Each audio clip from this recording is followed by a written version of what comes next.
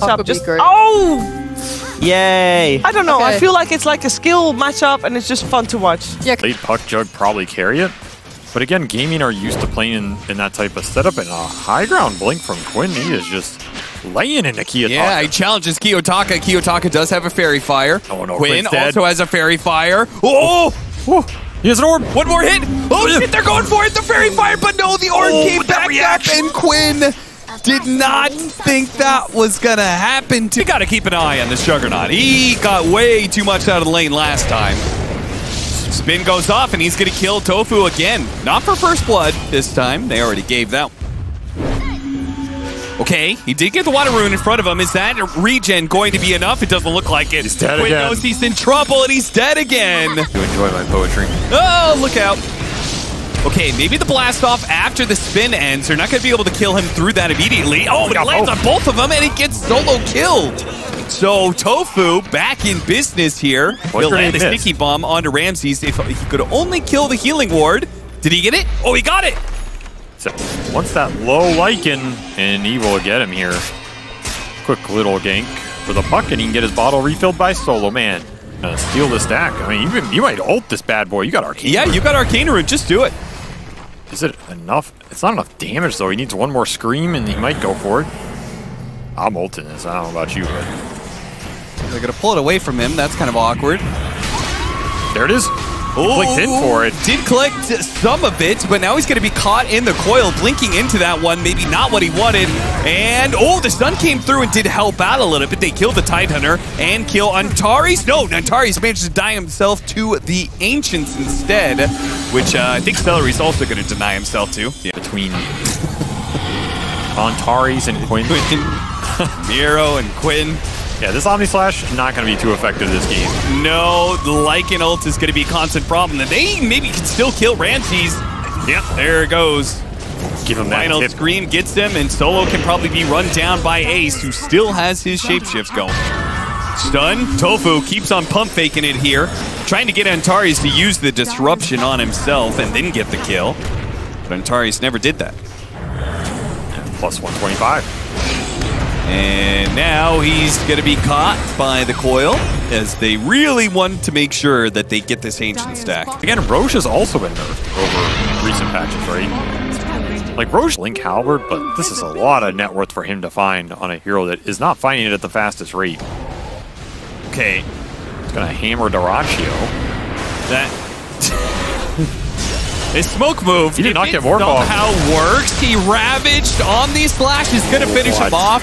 That there's no way that should have worked. They should not have worked. That is an Now they got the coil kill. onto Quap. Sonic Wave looks to push him back. Ramzes quickly pops Manta, but now he has to spin away as Ace, the big bad wolf, is here. And he's huffing and Oh. puffing, and Techies is knocking jump. down your door with the blast off. The lands onto two. They're going to go for Ramzes first. Down low. Looks like they can finish him off. Can they keep going, though? Do they have that staying power? Is Kiyotaka going to be able to bounce back in and finish off Tofu with the help of his friends? Looks like they should be able to get him as the Gush does bring him down. Now with the shapeshift on cooldown, it does feel like Gaimin Gladiators are going to have to back away. Do you manage to get another kill this time on the Batrider, but this Kiyotaka Miro duo seems Oh, kind of untouchable. that They hammer. Finish him off with a hammer. Miro's going to be slowed down big time, and now that Dyrachyo's back into it, they have some real damage. They're going to put it on to Demiro, probably kill him. So they get four, two for four. It doesn't last that long. Found Ace. To get the lasso on him, but he's already popped shapeshift. They are not going to be able to get the disruption. The coil's going to be used. The Omni Slash is going to be used. Everything to be able to kill Ace. He has been so important for Gaimin Gladiators and their success in some of these early fights. That is four ults. Can Gaimin take the fight with everything on cooldown here? I mean, surely you you have to be able to at this point. Sonic Wave really doesn't latch onto much. Ramsey's the only one touched by that one. Immediate sight onto the puck, but shrugs off that disable and blinks away. Solo looks like he's going to be left behind. Nine Pandas without their ultimates don't feel super great about fighting, but they can just run away. Oh, I don't know if you want to wait for Tormentor when you're top net worth on the team. And I think these mid Beginning to back him up. Pipe and Force Staff going to get Solo out of there. Miro jumps forward, trying to bait it. Yeah, but he's out of mana now. They're going to be able to get the lasso with an Ogre Seal Totem to be able to pull the Morphling out of position. Now, he does still have an Aegis. Good blast off, but finally the Aegis is finished off. Try as they might, they couldn't save that extra life. Now Dyrachyo is going to be ravaged up on these slash as well. Dyrachyo silence on They're top of everything else. Ace does manage to run in, and with all the strength that Dyrachyo built up, he's going to be just fine. Ramzes does have a double damage though, so they're going to need to kite this around as much as possible. He pops a spin. He's willing to fight Ace, and that's why Ace is going to dodge Oh. Kiyotaka hex. going to be used. That Kiyotaka finally gets caught playing too aggressive against the Scythe of Vyse. That is the type of hex you are looking for in these fights. Punish the puck overextension. Double damage for Ramzes. It did some work, but not enough as the heals and the sustain in the ball are coming through. The Gaimin push is deadly for a reason, and they're here to claim your buildings. Ramsey's going to have to do it the hard way. No ult. Lane into Dyrachyo. Anchor Another smash. Scythe Without. Ravage, without Omni Slash, it does feel like Nine Pandas have run out of tools and they're going to have to give up one lane of barracks. Sustain is just insane right now. And Quinn finishes an Aghs. He's immediately in. Sonic Wave onto the two of them. Once again, Solo's able to get out with some help. As the dagger doesn't quite finish him off, they do lose Miro though. Kiyotaka back into play. Blinks in. Orbs out. Gotta be careful of that side device. But this damage, this damage, it's overwhelming the buildings. They do still have a tier 2 up in bottom lane.